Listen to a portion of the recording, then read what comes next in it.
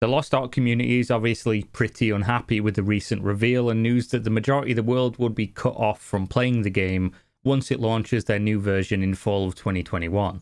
People have been waiting for this game now for a long, long time. Lost Ark has been out in Korea since late 2018, the Russian region in 2019, and Japan in 2020.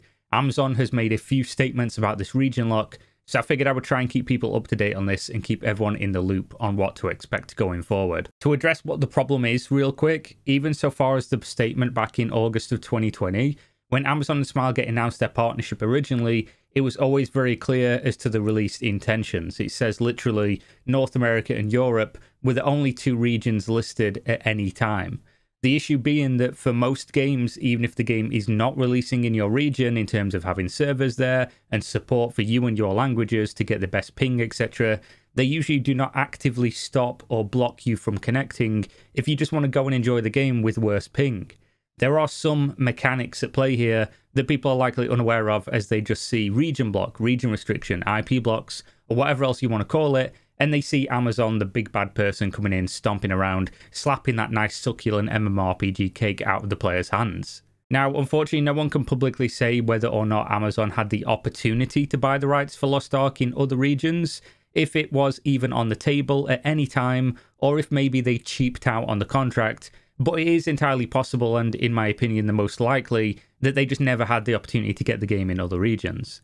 The reason that this happens is because of how publishing agreements work. To illustrate this as simply as possible, you have Smilegate, the developer, then you have regions A, B, C, and D. If Smilegate was to sell the rights to publish the game to region A first, they could charge a relatively high fee for this, as that means they will be getting first to market with the product.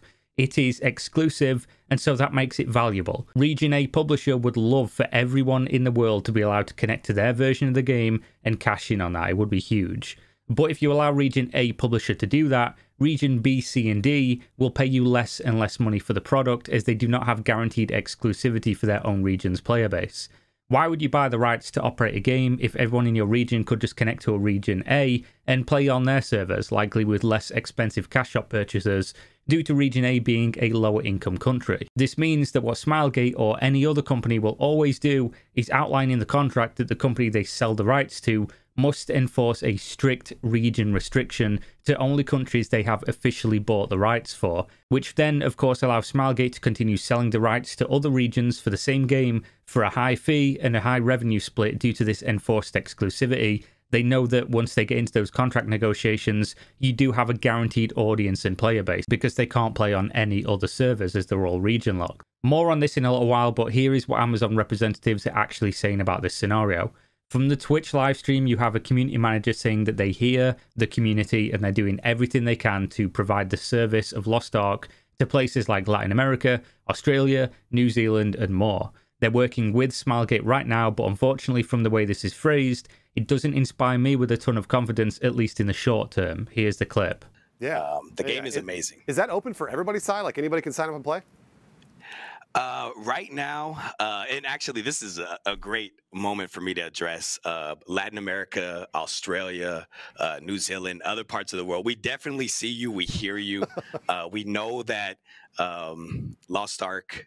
Right now, we we don't unfortunately have the rights to publish in those countries and and in those regions. But as we work with Smilegate, um, we we hope that that changes in the future. Um, so you guys are going to get there. You. you. guys are going to get there. Yeah, don't don't worry about that. I think it was fairly far fetched to assume in the very short amount of time since the Lost Ark official release announcement that we would get something more concrete. But it does appear that all the social media messages, the YouTube videos, and the outpouring of desire to play this game, as well as, of course, the outrage, has got Amazon trying hard to get those countries included within the publishing rights. They also had a developer for Amazon Game Studios posting on the Steam discussion section for Lost Ark stating they are collecting information and will escalate it to the right teams. He also states, and I'll quote, For all the folks in the regions that we do not have the publishing rights to Lost Ark for, we do hear you. I'm escalating your feedback and hopes to the right legal and executive teams. These contract matters are not simple, and I do not know what is possible, but I'm sharing your asks. Now, this is not a guarantee that anything positive happens towards this situation resolution. As I can imagine, Amazon were already aware there would be a market in these other regions and countries for this game. It does not sound all that hopeful, at least in the short term. He also goes on to talk about the Belgium and Netherlands situation, which, if you didn't know, those countries can currently not play, and he clarifies upon earlier remarks that they cannot guarantee support for players in Belgium and Netherlands due to the local regulations. And this is, of course, talking about how they handle loot boxes in their local law. Dutch and Belgian players will be unable to play in the technical alpha, which is currently ongoing. They did previously mention they're working hard to get these two countries included in the full launch, but again, there is no confirmation that these will be 100% available at launch. So all we have at this time, unfortunately, is Amazon employees basically saying, We've heard you, and we'll try our best to get the rights to publish the game in your region. But they already must have known, and I'm not sure what's going to have changed this time. Maybe they offer them more money, but we'll have to wait and see on this one. As for why Smilegate would be unwilling to include extra regions for the sale, perhaps it is Amazon not paying enough. Perhaps they just want different companies to operate the game in the different regions, or perhaps they take the publishing for their games extremely seriously and want to take the rollout really slowly. If we cast our minds back to when Lost Ark was being rumoured to release in North America and Europe every year, basically for the last three or four years, it was very clear that Smilegate wanted the game to be stable and well received in other regions as well as localized with good language options before it released in these territories they did not rush the release. They left money on the table. They knew North America and Europe in particular would be large markets for the game, and they didn't just rush to give it to any old publisher. They didn't rush to get the game released. They took multiple years to roll this out. Mail.ru is a really, really big company in Russia, and they operate a global brand for publishing called My.com.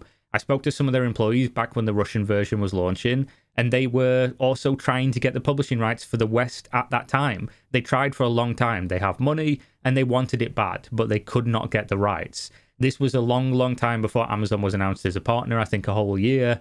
I say this to basically temper people's expectations for the future based on Amazon hoping to get these rights. It could be entirely out of their hands and not at all feasible. It's sometimes just not their fault. Hopefully, they do get the rights, or it might be another company. But if it is another company, if they want to get your language options and everything correct, it could be literally another year before you see the game. They might take their game that seriously that they don't want to diminish it by not allowing you to play in your native language and, and on servers that are made specifically for you. We'll have to wait and see, unfortunately.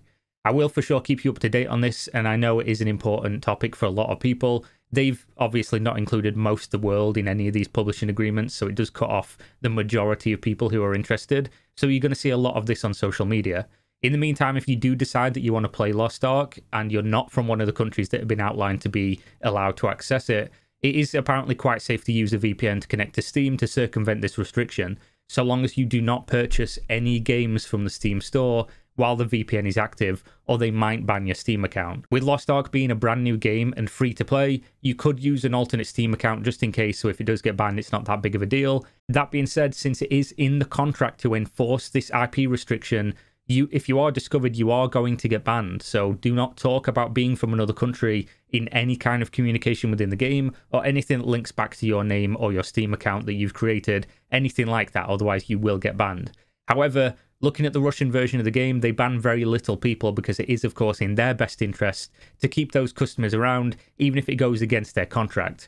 So long as they can feign ignorance that they do not know you were from outside the allowed region, they'll most likely leave you alone. I've heard of very few people being banned in Russia. Whether or not Amazon will take that same approach or take the enforcement of the contract much more seriously remains to be seen, but I will make a guide on how to connect to the game using a VPN once it is out and publicly playable, so that people can give it a shot if they are willing to take that risk. I would not personally recommend it, even if it has a 1% chance to risk your main Steam account. But I also know that people are going to go out their way to do this anyway, so I might as well make sure that they're doing it in the safest way possible. I know that covered most of what we talked about in this video in another video recently, but that was about the overall Lost Ark launch, and I figured this deserved a standalone video with the new information, as this is stuff you'd have to dig through a bunch of Reddit threads or be keeping up to date with the Steam discussion, which you obviously can't even see if you're in the region restricted areas, unfortunately. So, so yeah, thanks as always for watching. I'll try to keep you up to date on everything Lost Ark related as and when we get the information.